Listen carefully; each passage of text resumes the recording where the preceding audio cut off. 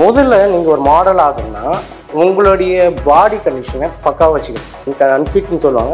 அந்த மாதிரி இல்லாமல் ஃபிட் லெவலில் வச்சிங்கனாலே நீங்கள் ஒரு மாடல் உங்களுக்கான க்ரூம் என்னென்னா நீங்கள் ட்ரெஸ்ஸிங் சென்ஸ் வந்து எல்லாமே இருக்கணும். அதேமாதிரி ப்ராப்பராக ஒரு ஃபோட்டோ ஷூட் பண்ணிக்கணும். உங்களுடைய ஹேர் கட்டும் சரி எல்லாமே பக்காவாக இருக்கணும். வாரத்துக்கு ஒரு நாள் எக் ஒயிட் இருக்குல்ல அதை கூட நீங்கள் லைட்டாக தேங்காய் எண்ணெய் மிக்ஸ் பண்ணி நம்ம ஃபேஸ்க்கு அப்ளை பண்ணிவிட்டு அதை காய விட்டு அதை வந்து பிரிச்செடுத்துனா உங்களுடைய ஸ்கின் வந்து நல்லாவே மாய்ஸ்சரைஸாக நல்லா க்ளோவாக இருக்கும். இது நீங்கள் வீட்டில் இருந்தே ஃபாலோ பண்ணலாம். அதேமாரி பாலியீடு யூஸ் பண்ணிக்கலாம். நம்ம முகம் வந்து இன்னும் இந்த முகத்துலலாம் ஒரு மாதிரி இது இருக்குங்க சொறுசொரிப்பு தன்மை. அது போகணும்னா நம்ம எதுவுமே பண்ண வேணாம். இப்போ இது இந்த மாதிரி ஒர்க்ஸுக்காக உங்களுக்கு காம்ப்ளிமெண்ட்ரிஸ் கிடைச்சிருக்கு? நிறைய ரெகக்னேஷன்ஸ் காம்ப்ளிமெண்ட்ரிஸ் நிறைய கிடச்சிருக்கு. நிறைய அவார்ட்ஸ் கிடச்சிருக்கு எனக்கு. இந்த மாதிரி best hair stylish award makeup artist award போன மாதம் பார்த்தீங்கன்னா கேரளாவில் நடந்த ஒரு பெரிய பேஷன் வீக் அதில் வந்து அங்கே இருக்கிற ஒரு டாப் தீபிகான்னு சொல்லிட்டு ஒரு பெரிய ஹீரோயினுக்கு மேக்கப் பண்ணேன். அவங்க மூலமாக எனக்கு வந்து அவங்களுக்கு பண்ணதுக்கான இது பெஸ்ட் மேக்கப் ஆர்டிஸ்ட் அவார்ட்லாம் எனக்கு நிறைய கிடச்சிருக்கு நான் ஒன்று குறிப்பிட்டு சொல்லுவேன். இந்த வந்து நம்மளை வந்து தாழ்ந்து பார்க்குறாங்க தாழ்த்தி பார்க்குறாங்கன்னு நீங்கள் சொல்கிறீங்க நான் ஒன்று சொல்லட்டுமா? எவ்வளோ பெரிய முதலமைச்சராக இருந்தாலும் சரி பிரதமர் நாட்டுக்கு பிரதமரே இருந்தாலும் எங்களை மாதிரி ஹேர் ஸ்டைலிஸ்ட் கிட்ட அவன் தலை குனிஞ்சு தான் ஆகணும். இதுவே ஒரு பெரிய விஷயம் தானே? வேறு யாருக்கு நீங்கள் தலை குனிவீங்க? எனக்கு என்னன்னா ஒரு பிக் பிராண்ட் என்னுடைய பேரில் உருவாக்கணும். அதை வந்து வேர்ல்டு வைடாக ரன் பண்ணணும். அதே தான் அதுமாதிரி பெரிய பெரிய செலிபிரிட்டிக்கு என்ன சொல்கிறேன்னா இப்போ இங்கே இருக்கிறது வந்து ஒரு பாலிவுட் அந்த மாதிரி போயிட்டு கொஞ்சம் அவங்க கூடலாம் ஒர்க் பண்ணணும்னு ஒரு ஆசை. அது கூடிய சீக்கிரத்தில் நடந்துடும் அதுக்கான வேலைகளை நான் பண்ணிட்டு தான் இருக்கேன். மேக்கப் தனி ஹேர் ஸ்டைலிஷ் அந்த மாதிரி தனித்தனியாக இருக்காங்க. நான் வந்து அப்படி கிடையாது. மாடல் கோஆர்டினேட்டும் பண்ணுவேன். ஹேர் ஸ்டைலும் பண்ணுவேன். மேக்கப்பும் பண்ணுவேன். அவங்களுக்கான காஸ்டியூம் டிசைனும் பண்ணுவேன். இந்த மாதிரி விஷயங்கள் எல்லாமே சேர்ந்து பண்ணதால எனக்கு கொஞ்சம் எனக்கு ஈஸியாக இருக்குது ஒரு மாடலை பக்கா உருவாக்குறதுக்கு. நான் வந்து அவங்கள அலைய விட மாட்டேன். நீ இங்கே போங்க. ஏதோ ட்ரெஸ்ஸிங்காக இந்த இந்த இவங்ககிட்ட போய் அப்ரோச் பண்ணுங்கள் ஹேர் கட்டுக்காக இந்த சலூன் போங்க. மேக்கப்புக்காக இந்த மேக்கப் ஆர்டிஸ்ட்க்கு போங்க. நான் அப்படிலாம் சொல்ல மாட்டேன். எல்லாத்தையும் நானே பண்ணிவிடுவேன்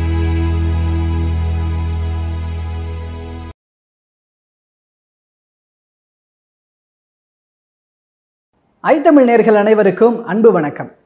சமீப நாட்களாக சமூக வலைதளங்களில் தன்னுடைய அனுபவங்கள் சார்ந்த பல்வேறு கருத்துக்களால் ரொம்பவே ஒரு கவனம் பெற்ற ஒருத்தர். ஆனால் அவர் மீது அப் அதனால் அவர் சொல்கிற கருத்துக்கள் மூலமாக ஏற்படுற பார்வைகள் ஒரு புறம் அப்படி இருக்கும்போது ஆனால் உண்மையிலேயே அவர் யார்? அவர் வந்து எப்படிப்பட்டவர்? என்ன வேலை செஞ்சுக்கிட்டு இருக்கிறாரு? அப்படிங்கிறது சம்பந்தப்பட்ட தகவல்களையும் தெரிஞ்சுக்க வேண்டியிருக்கு. ஸோ அந்த கோணத்தில் தான் இந்த இன்டர்வியூ எடுக்க போகிறோம் ஸோ அப்படி சமீப நாட்களாக சமூக வலைதளங்களில் பேசு பொருளா பேசு பொருளான பல கண்டென்ட்ஸை பேசி இருக்கிற திரு இனியன் முருகானந்தம் அவர் வந்து நம்மக்கிட்ட இணைஞ்சிருக்கிறார். அவர்கிட்ட அவரை பற்றி கொஞ்சம் பேசுவோம். அவர் சார்ந்த பல்வேறு விஷயங்களையும் கேட்டு தெரிஞ்சுக்கலாம். வணக்கம் சார். வணக்கம். நல்லா இருக்கீங்களா? நான் நல்லா இருக்கேன். அந்த நான் நான் ஃபஸ்ட்டு கேட்கணும்னு நினச்சேன் நீங்கள் கேட்டுட்டீங்க. ஓகே நீங்களும் நல்லா இருக்கீங்க அப்படின்னு நான் நினைக்கிறேன். ஓகே ஸோ சொன்ன மாதிரி தான். நான் நீங்கள் பல்வேறு விஷயங்கள் பேசும் பொழுது நீங்கள் சொல்கிற விஷயங்கள் ஒரு ஒரு விழிப்புணர்வாக போய் சேரணும். இதன் மூலமாக வேறு யாருக்கும் அப்படி நடக்கக்கூடாது அப்படிங்கிற ஒரு கோணத்தில் சில விஷயங்கள்லாம் சொல்லும்போது பட் உங்கள் மேலே ஒரு பார்வை ஒன்று வைக்கப்படுது. ஆனால் உண்மையிலேயே நீங்கள் யார்? ஹூ இஸ் இனியன் முருகானந்தம் அப்படிங்கிற அந்த கேள்வியிலேருந்து ஆரம்பிக்கணும்னு நினைக்கிறேன். நான் வந்து பார்த்தீங்கன்னா என் பேர் இனியன் முருகானந்தம் நான் மேக்கப் ஆர்டிஸ்ட் அதேமாதிரி செலிபிரிட்டி ஹேர் ஸ்டைலிஸ்ட் இந்த மாதிரி இது பண்ணிகிட்ருக்கேன் ஃபேஷன் ஷோவுக்கு மேக்கப் கோஆர்டினேட்டர் இந்த மாதிரி விஷயங்களும் பண்ணிகிட்ருக்கேன் ஓகே அப்போ அதில் நீங்கள் இப்போ இது அப்போ இதுக்குள்ளேயே ஒவ்வொரு ஜோனர்ஸ் இருக்குது அதுக்குள்ளே உள்ளார்ந்து பேச வேண்டியது நிறைய இருக்குது அப்போ அதேமாதிரி சொ சொந்தமாகவும் சலூன் ரன் பண்ணிகிட்ருக்கேன் ஸோ உங்களோட அனுபவங்கள் ரீதியாக இப்போ நான் கேட்குறேன் இப்போது நீங்கள் இந்த முதல்ல இந்த மாதிரியான தொ இந்த தொழில் தேர்ந்தெடுத்ததற்கான காரணம் என்ன? இந்த மாதிரியான தொழில் தேர்ந்தெடுத்த காரணம் வந்து எனக்கு முத முதல்ல நான் ஒரு ஸ்டைலிஷ் ஆக காரணம் என்னென்னா நான் வந்து ஹேர் ஸ்டைல் பண்ண போவேன். அங்கே வந்து என்னென்னா எனக்கு சரியான ஒரு ஹேர் கட் பண்ண மாட்டாங்க. நான் சா கொஞ்சம் ஆரம்ப காலகட்டத்தில் மீடியாவில் நானாக இருந்தேன். இப்போ எனக்கான ஹேர் ஸ்டைல் என்னன்னு சொல்ல தெரியாது. நான் ஒரு சலூனுக்கு போகிறேன்னா ஒரு பிக் சலூனுக்கு போவேன். இந்த மாதிரி எனக்கு ஹேர் கட் பண்ணுங்க அப்படின்னாலும் அவங்க பண்ண தெரியாது. அவங்க வந்து என்னென்னா எனக்கு ஏதோ வரான் போவாங்க. நம்மளுக்கு பண்ணி விட்டுறோம்னு சொல்லிட்டு பண்ணி விடுவாங்க. நான் அந்த இடத்துக்கு போகக்குள்ள என்னோட மீடியா அந்த இடத்துக்கு நான் போகக்குள்ள பார்த்தீங்கன்னா இது என்ன ஹேர் கட்டு ஏன் இப்படிலாம் பண்ணிட்டு வர? இது நல்லாவே இல்லையே. அப்படின்னு சொல்லிட்டு ஒரு மாதிரி நிராகரிப்பாங்க என்ன. சரி நம்ம ஏன் இது மாதிரி இதுன்னு சொல்லிட்டு நம்ம இது இந்த ஹேர் கட்னா என்ன? இது எப்படியாப்பட்டதுன்னு நம்ம தெரிஞ்சிக்க ஆரம்பிக்கலாம்னு சொல்லிட்டு நான் இதுக்காக படிக்க ஆரம்பித்தேன் படிக்க ஆரம்பிச்சு தான் அதில் வந்து எனக்கு இன்ட்ரெஸ்ட் வந்தது. ஃபஸ்ட்டு நம்ம எப்படி ஸ்டைலாக இருக்கணும் நம்ம என்ன பண்ணணும் நம்ம குரூமிங் எப்படி பார்த்துக்கணும்னு சொல்லிட்டு நான் பண்ண ஆரம்பித்து அப்போ அடுத்தவங்களுக்கு பண்ண ஆரம்பித்து இப்போ அது ஒரு சலூனாக இருக்குது இப்போ ஒரு செலிபிரிட்டி லெவல் வந்திருக்கு. இப்போ அதில் உங்களுக்கு ஒரு டேர்ம் யூஸ் பண்ணுறாங்க செலிப்ரிட்டி மேக்கப் ஆர்டிஸ்ட் அப்படின்னா அது அது எப்படி ஒரு செலிப்ரிட்டிஸ்க்கு மேக்கப் பண்ணுறதுனால அந்த டேர்முங்களா எப்படி? அப்படி இல்லை. நம்ம வளர்ந்து நம்ம வந்து ஒருத்தவங்களுக்கு மேக்கப் பண்ணால் தான் நம்ம வந்து ஒரு செலிபிரிட்டி லெவல் இப்போ வளர்ந்தவங்கள தானே செலிபிரிட்டி லெவல் நீங்கள் இப்போ வந்து ஆனால் இப்போ இருக்கிற மேக்கப் ஆர்டிஸ்ட்னு யாருனே அவங்க யாருனே தெரியாது. அவங்க என்ன பண்ணுவாங்க? ஒரு ஹீரோயினுக்கு ஒரு ஐம்பதாயிரமோ இல்லை எண்பதாயிரமோ காசு கொடுத்து இல்லை ஒரு டிவி சீரியல் ஆக்டருக்கு ஒரு முப்பதாயிரம் நாற்பதாயிரம் கொடுத்து அவங்களுக்கு கூட்டு வந்து மேக்கப் போட்டு நான் அவங்களுக்கு போட்டேன் அவங்களுக்கு போட்டேன்னு சொல்லிட்டு ஒரு ப்ரொமோஷன் பண்ணிவிட்டு அவங்களுக்கு அவங்களே செலிபிரிட்டி மேக்கப் ஆர்டிஸ்ட்னு சொல்லிக்கிறாங்க. இதுதான். ஆனால் என்னென்னா நம்மளும் வளர்ந்து நம்ம மூலமாக ஒரு செலிபிரிட்டிக்கு போடுறப்ப தான் நம்ம வந்து ஒரு செலிபிரிட்டி மேக்கப் ஆர்டிஸ்ட் ஆகும் இப்போ வந்து நான் வந்து என்னென்னா ஃபேஷன் ஷோவில் பெரிய பெரிய செலிபிரிட்டி வராங்க. அவங்களுக்கெல்லாம் போகணும் நம்ம இங்கே நம்ம சென்னையை தவிர்த்து நம்ம தமிழ்நாடு தவிர்த்து பாம்பே கேரளா டெல்லி இந்த மாதிரி இடத்துங்கலாம் போயிட்டு நடக்கிற ஃபேஷன் ஷோ அங்கே வர செலிபிரிட்டிக்கெலாம் நான் மேக்கப் போகிறதால இந்த பேர் அவ்வளோதான் ஓகே அப்போ இந்த ஃபேஷன் ஷோ அப்படிங்கிறது இப்போ வெளில இருந்து பார்க்கும்போது ஓகே ஒரு ஃபேஷன் ஷோ நடக்குது அப்படின்றது தெரியும். அதில் திடீர்னு அவங்களாம் ஒரு காஸ்டியூம்ஸ் போட்டுட்டு வராங்க மேக்கப் பண்ணிட்டு வராங்க போகிறாங்க ஏதோ ஒரு ஒரு ஒரு ஒரு ஷோ கேஸ் பண்ணுறாங்க அப்படிங்கிறத புரிஞ்சுக்க முடியுது. உள்ளுக்குள்ளே என்ன தான் நடக்கும்? ஒரு ஃபேஷன் ஷோக்கு பின் பின்னாடி என்ன நடக்கும்? என்னென்னா ஒரு ஷோ நடக்குதுன்னா ஒன்று வந்து ஷோ வந்து ஒரு பிராண்டை வந்து ப்ரொமோட் பண்ணுறதுக்காக நடக்கும். இல்லைன்னா வந்து மாடல்ஸை வந்து ப்ரொமோட் பண்ணுறதுக்காக நடக்கும். ஒரு மாடல்ஸை உருவாக்குறதுக்கான ஒரு ஷோ இப்போ அழகு அழகி போட்டி அழகன் போட்டி இந்த மாதிரி ஒரு பேஜெட் நடத்தி அதில் வந்து யார் வெற்றி பெறாங்களோ அவங்களுக்கான ஒரு அவங்களுக்கு சினிமா வாய்ப்போ இல்லை வந்து அவங்கள வந்து வேறு ஒரு விளம்பர படத்தில் நடிக்க வைக்கிறதுக்கு அவங்கள தேர்ந்தெடுத்து அவங்களால முடிஞ்சது எல்லா விஷயங்களும் பண்ணுவாங்க. இந்த மாதிரி விஷயங்கள் தான் ஃபேஷன் ஷோவில் நடக்குது.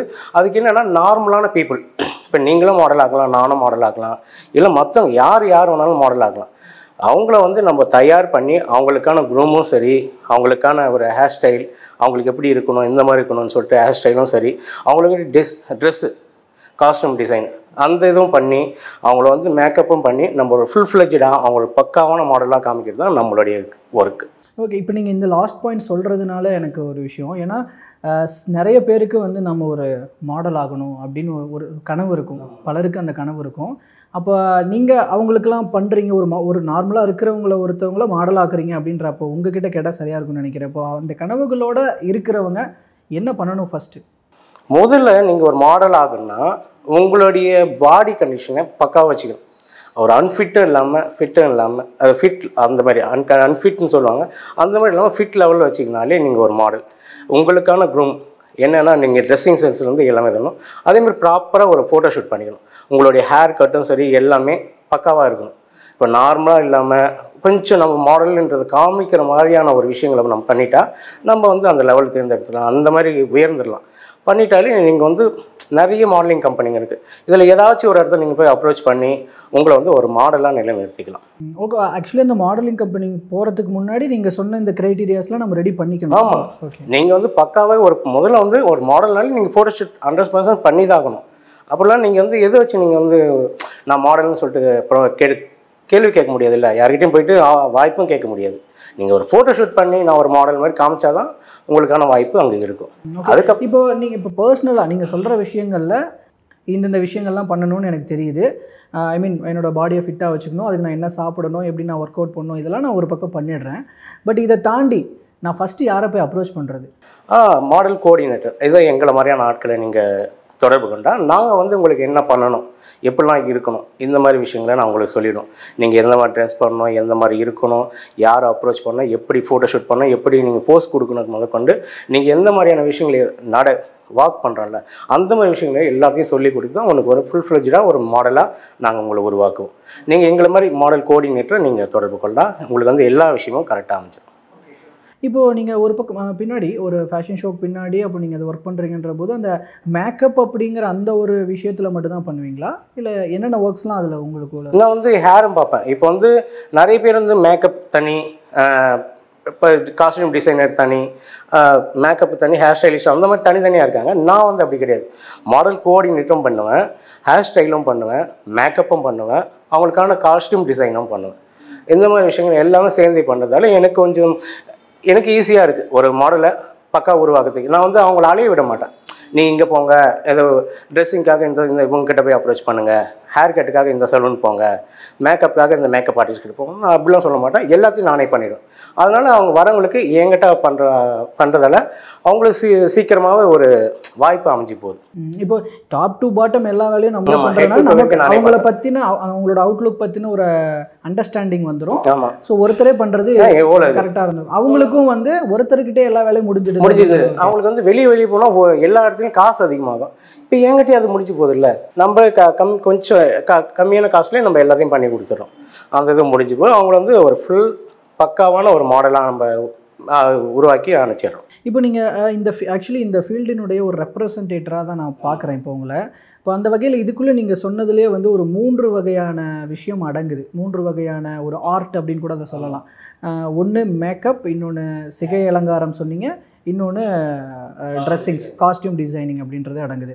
நான் இதில் தனித்தனியாக கேட்கணும்னு நினைக்கிறேன். இப்போ நார்மலாக ஒருத்தவங்க பார்க்குறவங்களுக்கு ஒரு ஹேர் கட் பண்ணுறது அப்படிங்கிறது கடை சலூனுக்கு போனோம் உட்காந்தோம் நம்மளுக்கு பிடிச்ச மாதிரி சொன்னோம் கட் பண்ணுறாங்க ஓகே நம்மளுக்கு லு லுக் நல்லா இருக்கு வந்துடுறோம் அப்படிங்கிற ஒரு பாயிண்ட் ஆஃப் வியூவில் இருப்பா பார்ப்பாங்க. பட் ஒரு சிக் சிகை அலங்காரம் செய்கிறவர் அந்த வேலையை எப்படி பார்ப்பாரு? அதுக்காக எவ்வளோ மெனக்கெடுறாரு? நான் தெரிஞ்சுக்கணும்னு நினைக்கிறேன். நான் ஃபஸ்ட்டே சொன்னேன் எப்படின்னா எனக்கு வந்து நான் போகக்குள்ள எனக்கு வந்து எந்த கா ஹேர் ட்ரெஸ்ஸும் வந்து சரியாக பண்ணலை. எனக்கு வந்து ஹேர் கட்டு எதுவுமே பண்ணல. எனக்கு வந்து என்ன ஹேர் கட் சூட் ஆகுமோ அது யாரும் எனக்கு பண்ணலை. அதனால் நான் என்ன பண்ணேன் அந்த நிலைமை யாருக்கு வரக்கூடாதுன்னு சொல்லணும். நான் ஹேர் ஸ்டைலிங் படிக்க ஆரம்பித்தேன் இப்போ என்கிட்ட ஒரு கஸ்டமர் ஒரு கிளைண்ட்டோ ஒரு கஸ்டமரோ வராங்கன்னா அவங்க முகத்துக்கு என்ன ஹேர் ஸ்டைல் சூட் ஆகுமோ அதை வந்து நான் ஃபுல் ஃப்ளெஜாக அவங்க மனசில் என்ன நினைக்கிறாங்களோ அதை முதற்கொண்டு அவங்க ஐப்ரோ ஷேப்லேருந்து அவங்க பியர் டிசைன்லேருந்து எல்லாமே பக்காவாக பண்ணி நீங்கள் சொன்ன மாதிரி இது ஒரு கலையாக தான் நான் பார்க்குறேன். எனக்கு வந்து என்னென்னா இது கலை. இதை வந்து நம்ம ஒரு இன்னும் உயரத்துக்கு கொண்டு போனோம். அந்த மாதிரி கேட்டகரி நினச்சி தான் நான் அவங்கள பண்ணிகிட்ருக்கேன் வரவங்க எப்படி வந்தாலும் அவங்க போக்குள்ள ஒரு ஹீரோவாக திரும்பி போவாங்க. அந்த அளவுக்கு தான் நாங்கள் மாற்றி அனுப்புவோம் அவங்கள. மேக்கப்லையும் சரி ஹேர்லேயும் சரி. இந்த விஷயம் பேசும்போது எனக்கு அப்படியே அந்த சிங்கப்பூர் சலூன் படத்தில் நடக்கிற. ஏன்னா ஒரு ஒரு ஒரு லைன் ஒன்று வரும். அவன் வந்து அதை தொழிலாக பார்க்கல கலையாக கலையா தான் ஸோ அதான் அந்த கலைன்ற ரீதியில் தான் இப்போ இந்த விஷயம் ஒரு ஹேர் ஸ்டைலிங் அப்படிங்கிறத அணுகணும் இல்லைங்களா அப்போ?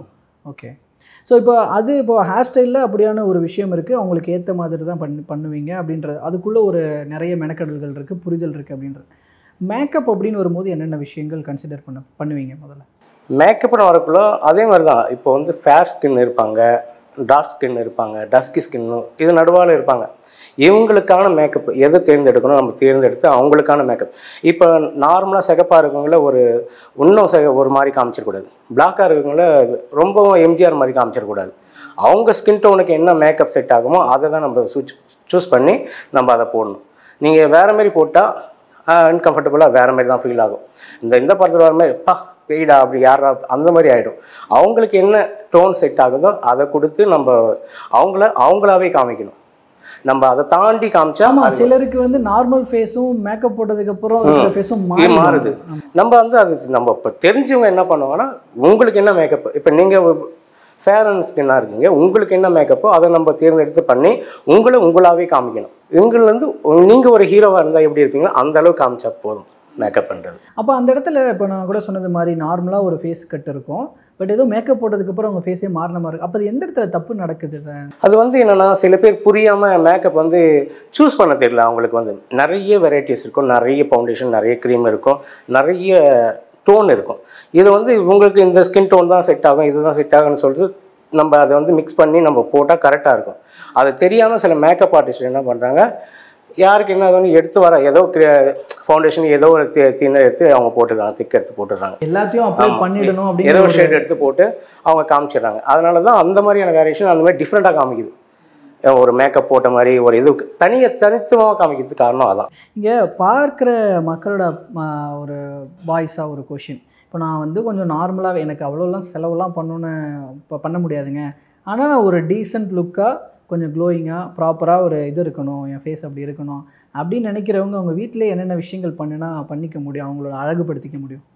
இப்போ எப்படின்னா நீங்கள் வீட்டிலே பண்ணிக்கிறீங்க நீங்கள் பார்லருக்கு போக முடியாமல் ஒரு சுச்சுவேஷன்லாம் இருக்குதுன்னா உங்களை நீங்களே அழகாக காமிக்கிறதுக்கு என்ன பண்ணுங்கள் டெய்லியும் நீங்கள் நார்மல் எழுந்த உடனே நார்மலாக ஒரு ஃபேஸ் வாஷ் நார்மலாக ஒரு ஃபேஸ் வாஷ் வாங்கி வச்சுட்டு அது யூஸ் பண்ணாலே போதும். காலையில் ஒரு டைம் மதியம் ஒரு டைமு ஈவினிங் நீங்கள் ஒர்க் முடிச்சு வரக்குள்ளே ஒரு டைம் பண்ணால் போதும். அதுவே உங்களை வந்து உங்களுடைய ஸ்கின்னை மாய்ஸை கரெக்டாக வச்சுட்ருக்கோம் நீங்கள் அதெல்லாம் இப்போ இது பண்ணாமல் பண்ணால் தான் உங்களுடைய ஸ்கின் வந்து ரஃப் ஆகிறதோ உள்ளே வந்து அன்கம்ஃபர்டபுள் ஆகிறதோ அந்த மாதிரி விஷயங்கள் நடக்கும். நீங்கள் வீட்டில் இருக்கிற அந்த மாதிரி இதுவே வாரத்துக்கு ஒரு நாள் எக் ஒயிட் இருக்குல்ல அதை கூட நீங்கள் லைட்டாக தேங்காய் எண்ணெய் மிக்ஸ் பண்ணி நம்ம ஃபேஸ்க்கு அப்ளை பண்ணிவிட்டு அதை காய விட்டு அதை வந்து பிரித்து எடுத்தோன்னா உங்களுடைய ஸ்கின் வந்து நல்லாவே மாய்ஸ்சரோட நல்லா க்ளோவாக இருக்கும். இது நீங்கள் வீட்டிலேருந்தே ஃபாலோ பண்ணலாம். அதேமாரி பாலியீடு யூஸ் பண்ணிக்கலாம். நம்ம முகம் வந்து இன்னும் ஒரு அன்கம் ஒரு மாதிரி இந்த முகத்துலலாம் ஒரு மாதிரி இது இருக்குல்ல சொரிசொரிப்பு தன்மை. அது போகணும்னா நம்ம எதுவுமே பண்ண வேணாம். வீட்டில் தோசைக்கு யூஸ் பண்ணுவாங்கள்ல மாவு. அதை கூட கொஞ்சம் தேங்காய் எண்ணெய் எடுத்து மிக்ஸ் பண்ணிவிட்டு நீங்கள் ஃபுல்லாக முகத்தில் அப்ளை பண்ணிட்டு நல்லா ரப் பண்ணணும். ரப் பண்ணிவிட்டு நீங்கள் பாலில் வந்து முகத்தை கழுவினா நீங்கள் பார்லருக்கு போகாமே அந்த க்ளோ உங்களுக்கு கிடைச்சிடும் ரொம்ப ஷைனிங்காக இருக்கும் போது இதை ஃபாலோ பண்ணுங்கள் உண்மையாக நல்லாயிருக்கும். இதில் மேஜராக எல்லாருக்கும் தெரிஞ்ச ஒரு விஷயம் அந்த கடலை மாவுன்னு ஒன்று சொல் அதை வச்சு ஃபேஸை வாஷ் பண்ணலாம். கடலை மா நீங்கள் கடலை மாவு யூஸ் பண்ணால் அதான் கூட நீங்கள் ஒரு ரெண்டு மூணு பொருளுங்களை யூஸ் பண்ணால் தான் அது ரிசல்ட் கொடுக்கும். நீங்கள் வெறும் கடலை மாவு மட்டும் யூஸ் பண்ணீங்கன்னு வச்சுக்கோங்க முகம் வந்து ரஃபாக தான் போயிடும். மாய்ஸ் இருக்காது அதில். அதனால் நீங்கள் தேங்காய் பாலையோ மிக்ஸ் பண்ணி வேணால் இந்த மாதிரி விஷயங்களை சேர்த்து பண்ணால் கடலை மாவு நல்ல ரிசல்ட் கொடுக்கும். ஷூர் இப்போது இன்னொரு பக்கம் வந்துட்டு நான் இப்போ அடுத்தது அந்த காஸ்டியூம்க்கு போகிறேன் டிசைனுக்கு போகிறேன் இப்போது ஒருத்தர் வந்து ஒரு ப்ராப்பர் லுக்கில் இருக்கணும் அப்படிங்கிறதுல வந்து நீங்கள் எந்த அளவுக்கு மெனக்கெடுவீங்க யோசிப்பீங்க? அந்த ஒரு காஸ்டியூமில் நீங்கள் என்னென்னலாம் கவனிப்பீங்க? என்னென்ன விஷயம் மாற்றணும்னு நினைப்பீங்க? அது எதை பொறுத்து அமையும்? இப்போ வந்து குண்டாகிறவருக்கு எந்த மாதிரி ட்ரெஸ் நம்ம சூஸ் பண்ணணும்? ஒல்லியாகிறவருக்கு எப்படி யூஸ் பண்ணணும்? ஹைட்டாகிறவருக்கு என்ன மாதிரி கலர்ஸ் யூஸ் பண்ணணும்?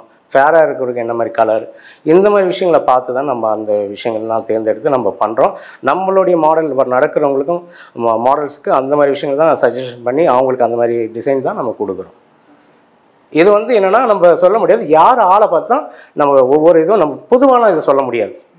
நம்ம யாருக்கு என்னவோ அதை பார்த்து தான் நம்ம இந்த மாதிரி காஸ்டியூம் டிசைனிங்கு நம்ம என்ன பண்ணலான்னு சொல்லிட்டு சொல்லலாம்.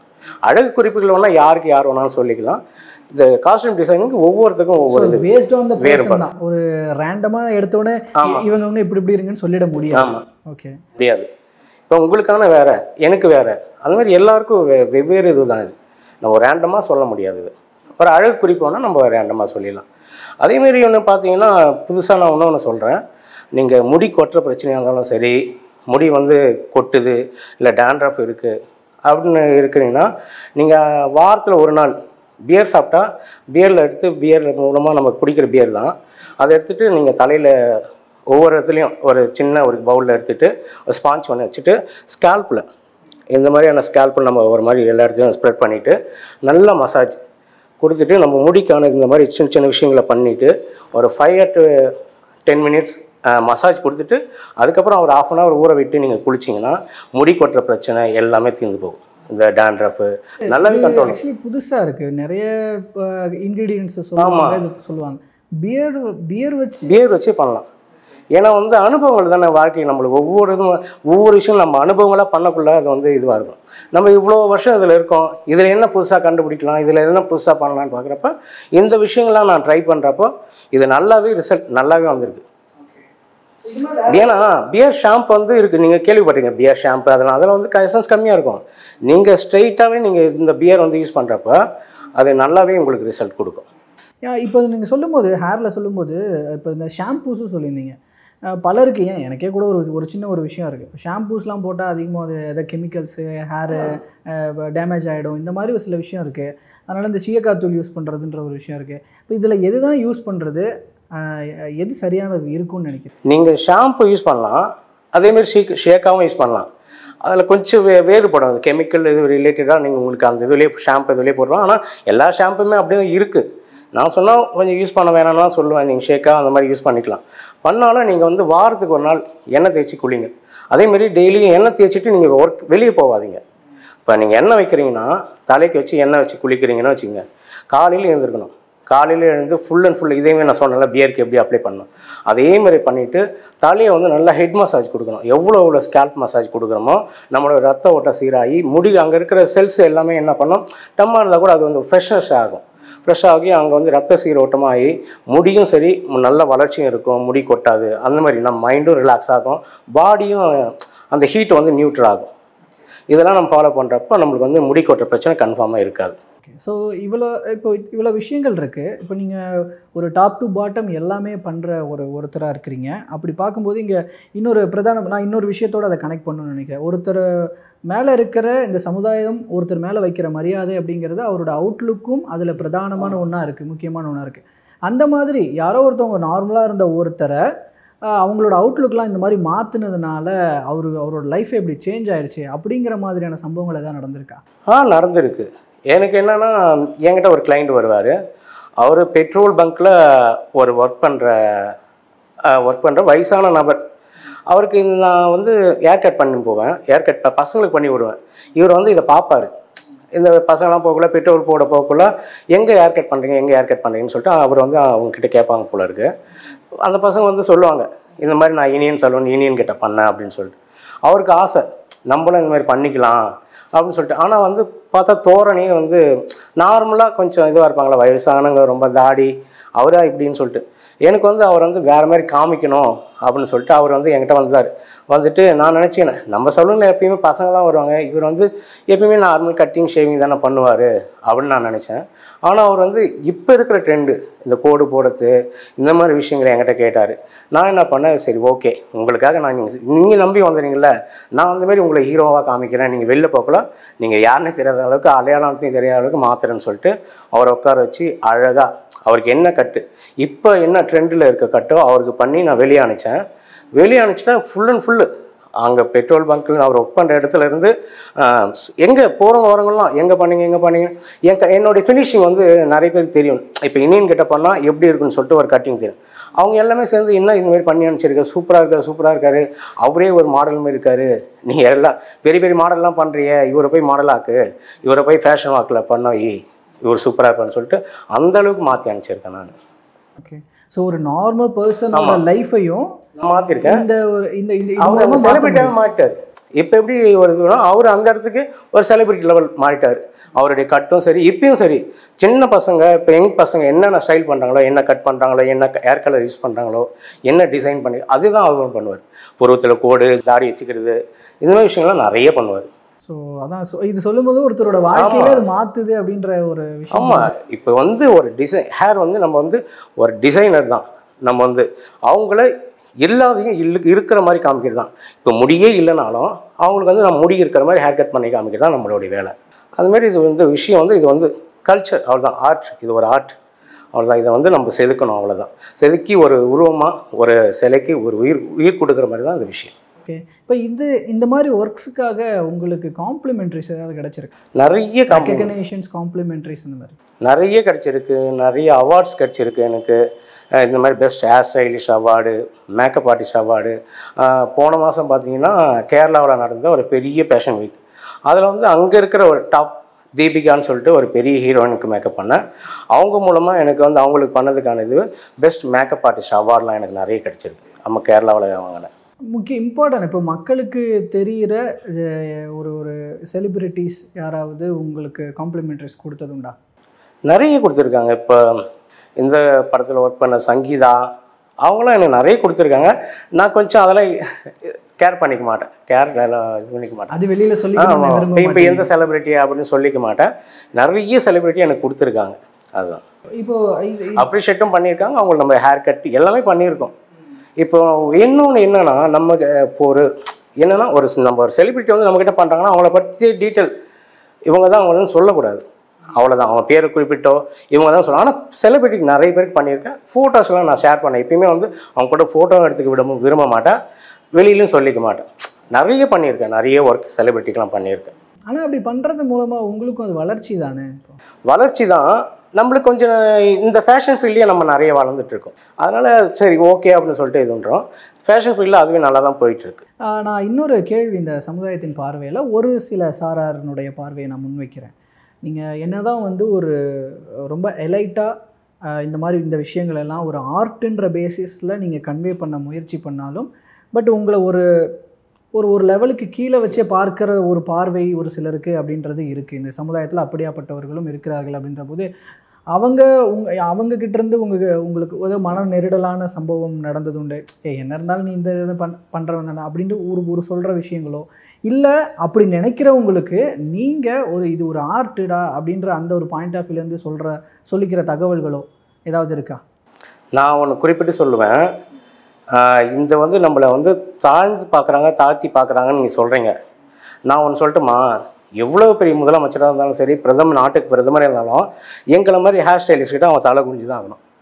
இதுவே ஒரு பெரிய விஷயம் தானே. வேறு யாருக்கிட்ட நீங்கள் தலை குனிவீங்க?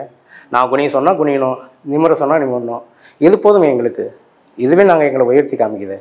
ஓகே எப்படியாப்பட்ட ஆளும் சரி எவ்வளோ பெரிய நாட்டுக்கே ராஜானாலும் நாங்கள் தலை குனி சொன்னால் நீங்கள் குனிஞ்சு தான் ஆகணும்.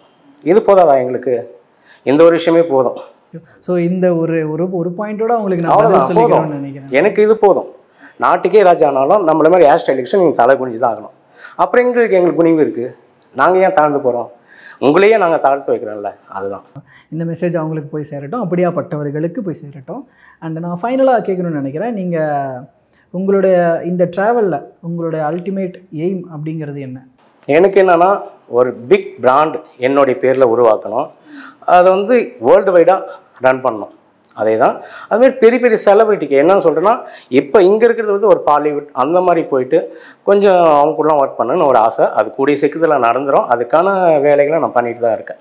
ஒரு புறம் ஆனால் இந்த நீங்கள் ஒரு ஒருத்தரை குறிப்பிட்டீங்க இல்லையா? பெட்ரோல் பங்க்கில் வேலை செய்கிற ஒருத்தர் அவருடைய வாழ்க்கை மாறிடு மாறி இருக்க. மாறி இருக்கு அந்த மாதிரி பண்ணுறதுல உங்களுக்கு எவ்வளோ ஈடுபாடு இருக்குது நிறையவே இருக்குது இன்னும் அந்த மாதிரி ஆட்களை தேர்ந்தெடுத்து நான் பண்ணிட்டு தான் இருக்கேன்.